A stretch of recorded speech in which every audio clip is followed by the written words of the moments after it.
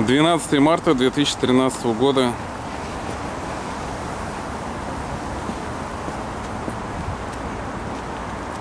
Московское время 21 час 07 минут. Мы приближаемся к зданию счетной палаты.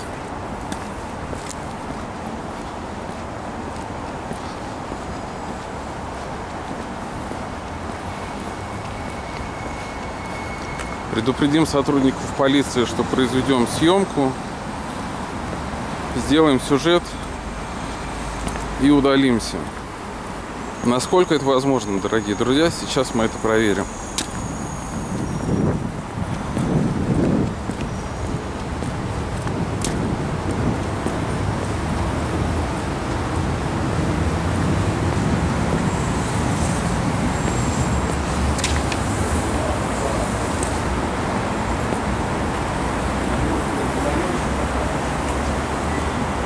Доброго дня.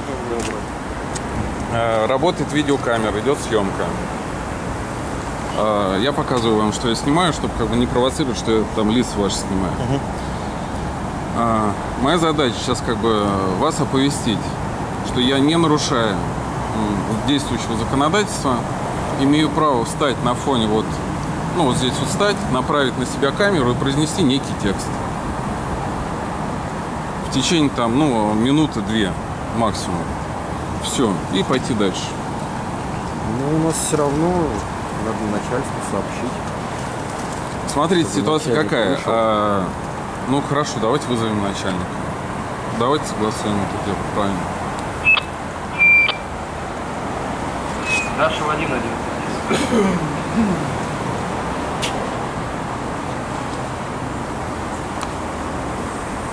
Ваши лица не надо снимать? Хорошо. То есть моя задача не конфликтовать, а как бы мне надо снять и уйти.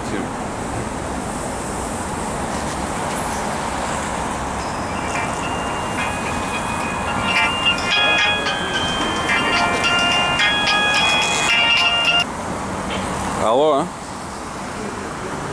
Алло. Да, да, да.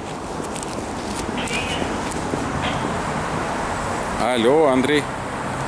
Ну, я вообще-то у счетной палаты стою, сейчас начальник должен выйти.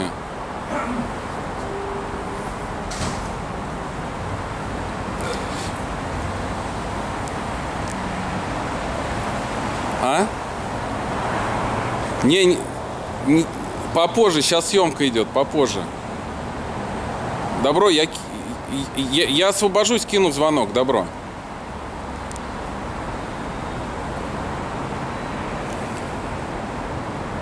Елки-палки. Ну давайте через полчасика. Я освобожусь, я думаю, уже минут через 15. Все, добро, давайте. Я не сплю, я на улице работаю. Давайте. Вот, выходит начальник отделения. Не отделения, а начальник комендатуры. Как в любом государственном учреждении, здесь есть начальник комендатуры и государственные учреждения охраняются. Здравия желаю. Меня зовут Старухин Ярослав Петрович, я мобильный репортер. Ведется видеосъемка, как видеорегистратор. Зачем? Потому что у меня необычные как бы пожелания, как у гражданина. Около общественного, публичного, государственного здания мне нужно встать на фоне э, таблички счетной палаты. И вот как стоит вот камера, направить на себя камеру и произнести... Видеосъемка у нас здесь запрещена. Я физическое лицо. Это административное здание. Можно я направлю камеру на вас и зафиксирую ваш ответ? Просто у меня, я же должен буду подать куда-то жалобу, что вы нарушили мои гражданские права вот сейчас. Ваши права никто не нарушает. Ну почему я не могу повернуться вот не туда снимать, а повернуться в ту сторону? Вот здесь снимаете, М? и вот здесь стойте и поворачивайте. А, вот так вот типа? Хорошо. Спасибо.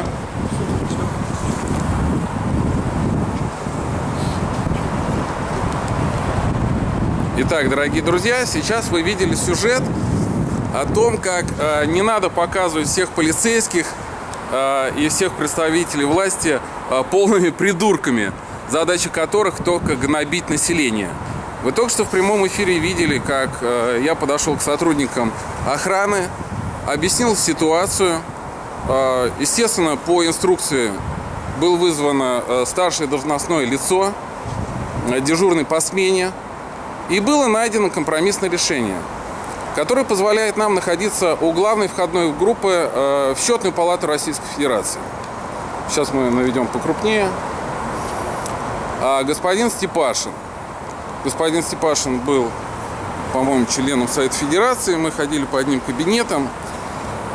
А, о чем речь? Сегодня был сюжет про господина Черняева, э, господа. А, то, о чем он говорит, гравиболиды. То есть познать новые технологии, которые позволяют предсказывать стихийные бедствия, катастрофы и иные техногенные аварии. Это огромные деньги. И контроль над этими деньгами, конечно же, должна вести счетная палата. По законодательству так положено, дорогие друзья. Именно поэтому я около счетной палаты делаю сюжет за, за сюжетом, обращая внимание господина Степашина. Альтернативные технологии, прорывные технологии.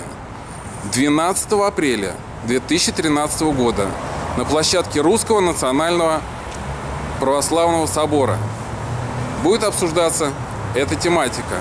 Прямая трансляция, чтобы и патриарх, и президент, и председатель правительства в прямом эфире смогли послушать то, о чем молчит их ближнее окружение. На этом мы завершаем наш репортаж. Смотрите ролик Черняева Анатолия Федоровича. Спасибо, стоп, снято. И не снимая сотрудников полиции, чтобы не провоцировать, мы покидаем площадку. Спасибо большое.